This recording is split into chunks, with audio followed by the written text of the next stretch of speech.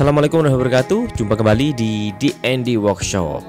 Oke, kita saat ini kedatangan sebuah cordless grinder brushless dari NRT Pro. Tipenya NRT TG99DC Alasan saya membeli alat ini adalah karena saya punya beberapa tools dari NRT Pro Yang menggunakan baterai yang sama. Ya minimal mountingnya sama ya, seperti ini.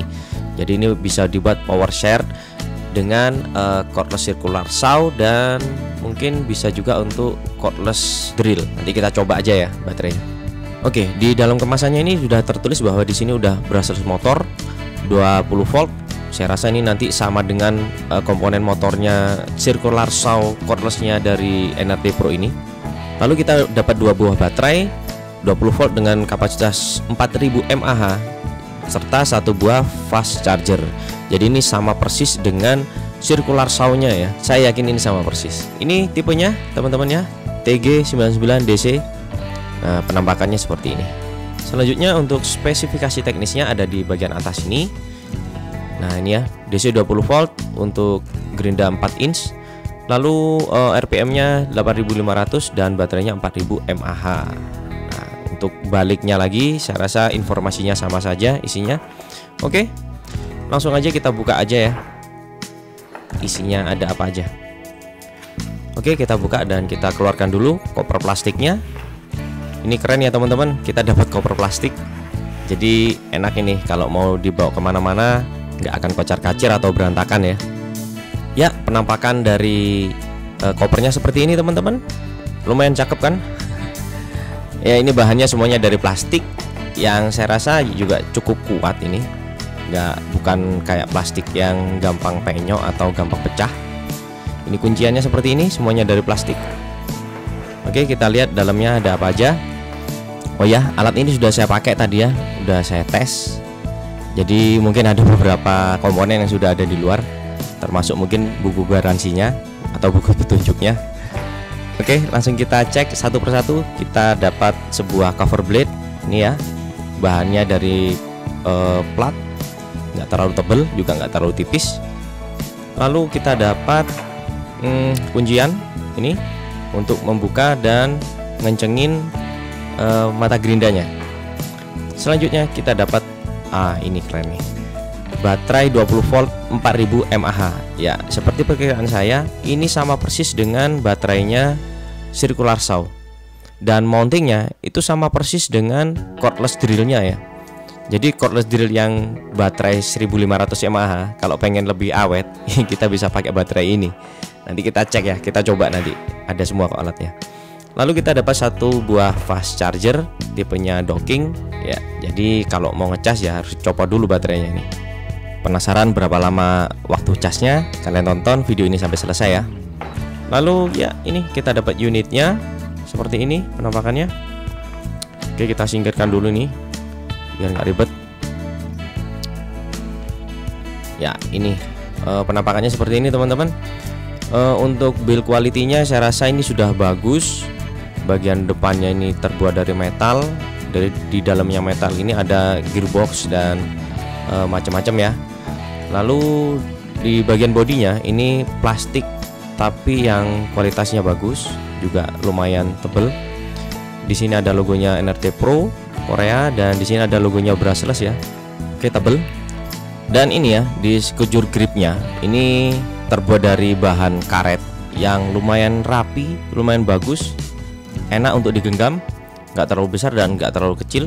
Build quality-nya saya rasa untuk bodinya itu bagus sekali Lalu ini ada tombol, ini untuk variable speed ya teman-teman. Jadi variable speednya ini bukan putaran tapi sudah digital. Selanjutnya untuk mematikan dan menyalakan mesinnya ada saklarnya di sini.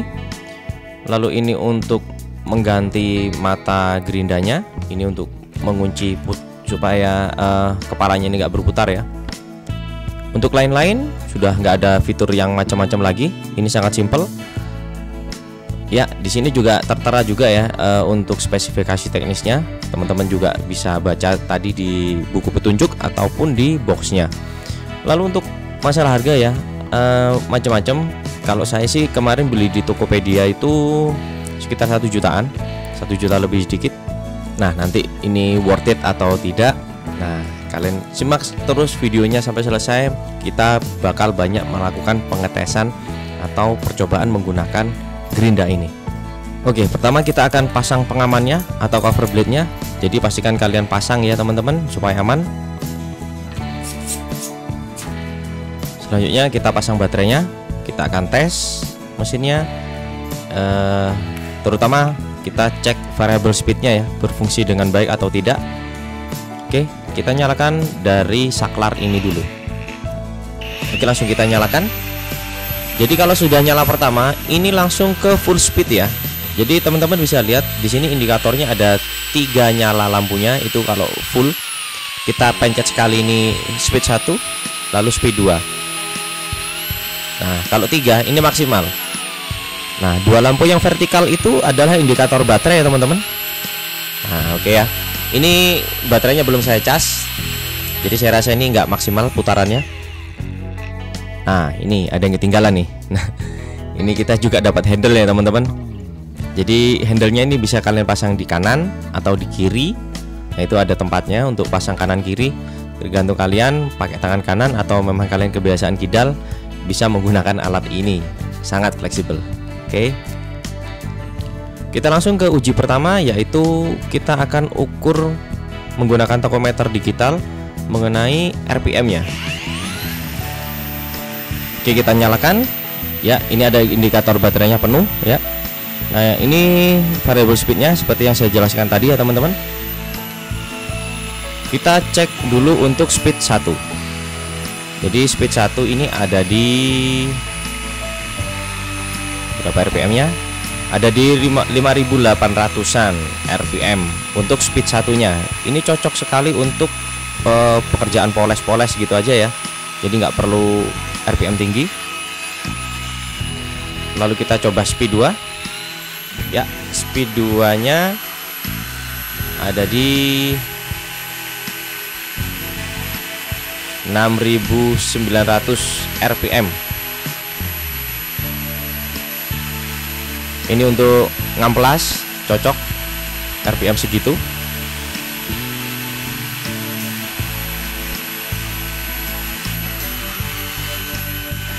selanjutnya. Untuk full speednya speed 3 ini untuk pekerjaan potong lalu kepras pakai ini ya. Ya ternyata RPM nya nggak sampai 8500 Kurang sedikit teman-teman.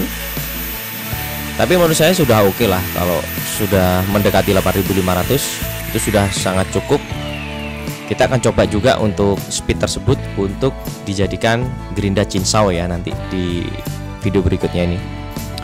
Selanjutnya kita akan coba kosongkan dulu ya baterainya. Lalu kita akan tentukan Waktunya ini untuk pengecasannya berapa lama. Dari kondisi 0 sampai dengan penuh. Oke ya ini sudah kosong saya rasa. Udah udah nggak nyala ya. Oke kita copot baterainya. Lalu kita cas jadi nanti indikatornya kalau baterainya ini belum penuh itu nyala lampunya merah dan nanti kalau sudah penuh nyala lampunya hijau Oke ya, nanti berapa menit atau berapa jam kita timer. Oke, waktunya langsung aja kita cepetin ya supaya nggak lama-lama. Ngapain juga nungguin kayak gini ya kan?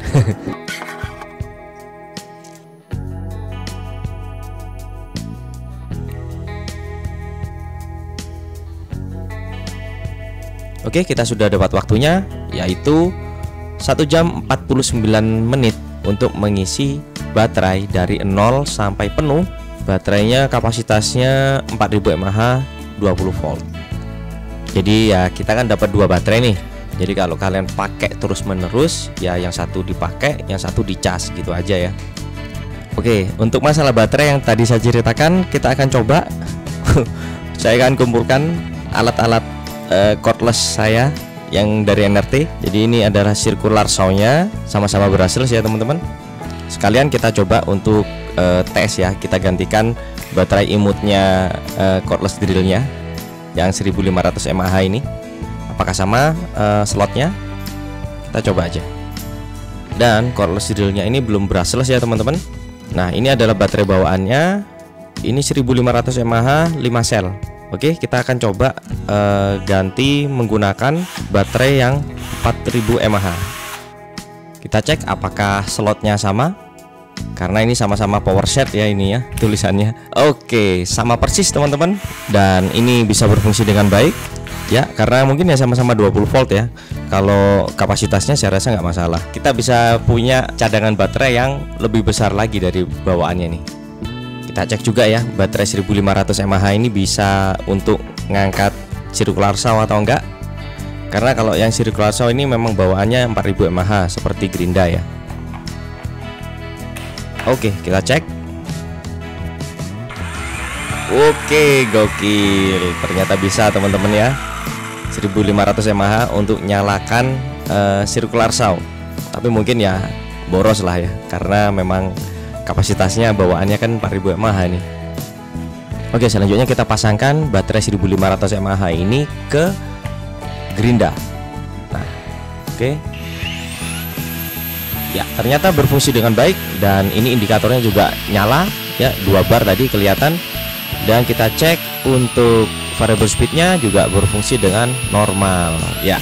Jadi kesimpulannya yang penting sama-sama voltasenya 20 volt. Walaupun nanti beda mAh nya atau kapasitasnya itu nggak masalah teman-teman. Oke tanpa panjang lebar kita langsung tes performa ya. Yang pertama kita akan jadikan gerinda chainsaw langsung kita buat potong bambu. Kalau kalian pengen reviewnya dari chainsaw ini kalian bisa klik link di atas ya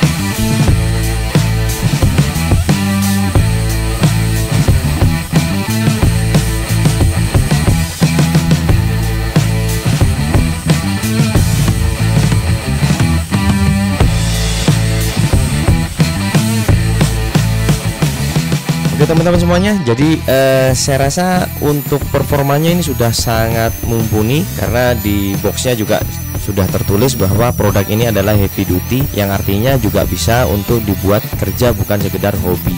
Nah Kalau menurut saya sih ini sangat worth it dari segi harga dan kualitasnya. Menurut kalian gimana? Kalian bisa tulis di kolom komentar dan jangan lupa klik like, subscribe dan aktifkan tombol loncengnya ya teman-teman. Terima kasih sudah menonton video ini sampai selesai dan terima kasih dukungan kalian terhadap channel di Andy Workshop dan kurang lebihnya mohon maaf. Terima kasih sudah menonton video ini sampai selesai. Wassalamualaikum warahmatullahi wabarakatuh.